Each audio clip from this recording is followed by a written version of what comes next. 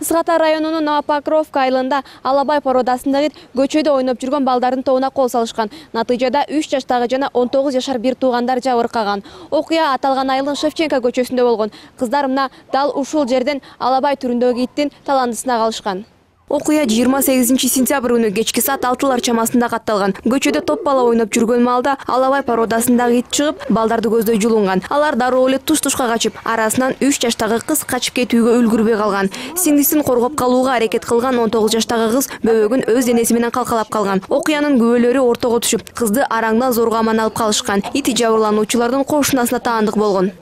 Келет экен ит келип эле басып неме момундай секиргенден кийин кызы болсо чоң эжеси аны басып кучактап жатып алат жатып алгандан кийин башыдан тиштейт анан кийин бияктики балалар болсо тетиякты бир кошунубуздун баласын чакырып илшанны ит тиштеп атат дегенден кийин ал бала болсо бир колунда бирдеңке алып келип ал итти ургандан кийин ит качып кетет ну башыдан тиштеген төрт жерден уже неме они сошивали швы после вчера сняли. А кичинекей кызы эчтеке болгон жок бети жыгылгандан кийин бети сүрүлүп кеткен. Дөбөт иттин кол салуусунан кыз башынан оор жаракаттарды алып дароо эле аймактык ооруканага жеткирилген. Терисинин ит тиштеген жерлери айрылып дарыгерлер ачык жараттарды тигүүгө аргасыз болушкан. Ал жыйырма сегизинчи сентябрдан тарта тогузунчу октябрга чейин дарыгерлердин көзөмөлүндө болуп тийиштүү анализдер алынган. Ооруканадан чыгарылганына эки күн болуптур али чыгып кеттиби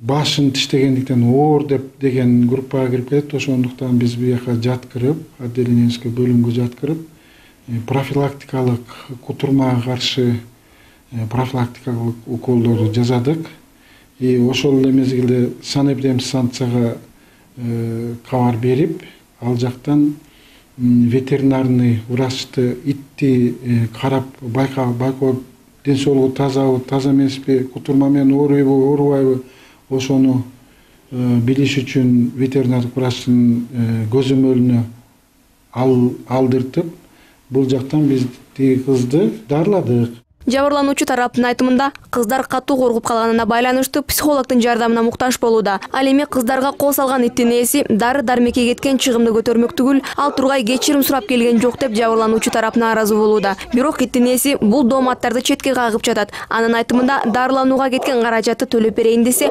кыздын апасы андан миң доллар талап кылган. Ооруканага кыздын абалын сурап барсам киргизбей койду дейт и в деньгах я никогда не отказывала э, рашиде. Мен ооруканага канча сом кетиришсе төлөп берүүгө даярмын. Бирок кыздын апасы менден алгач миң доллар сурап эми элүү миң сом талап кылып жатат кызыма пластикалык операция жасайм дейт. Бирок менде андай акча жок. ал акча табуунун айласын кылып мага калп эле догурунуп жатат бул деген кырсык да ит тордо эле камалып турчу. алты жаштагы кызым кошуна кыз менен ойноп жүрүп тордун эшигин ачып жибериптир. кызымды урушайын десем ал бала ал эми ит эч нерсени түшүнбөйт аталган окуя боюнча новопокровка айылынын кырк эки жаштагы тургуну кызын талап салган алабайдын ээсине чара көрүү суранычы менен жыйырма тогузунчу сентябрь күнү ысык ата районунун ички иштер башкармалыгына арыз менен кайрылган арыздын негизинде экспертиза жүргүзүлүп күбөлөрдүн да көрсөтмөлөрү алынган анын жыйынтыгы менен райондук ички иштер башкармалыгы бул жакта кылмыштын курамы жок болгондуктан кылмыш ишин козгоодон баш тарткан андан соң топтолгон материалдар ысык ата райондук ички иштер бөлүмүнүн коомдук коопсуздук кызматына жөнөтүлгөн иттин ээсине административдик мүнөздөгү чара көрүлүп акчалай айыпка гана тартылат экен.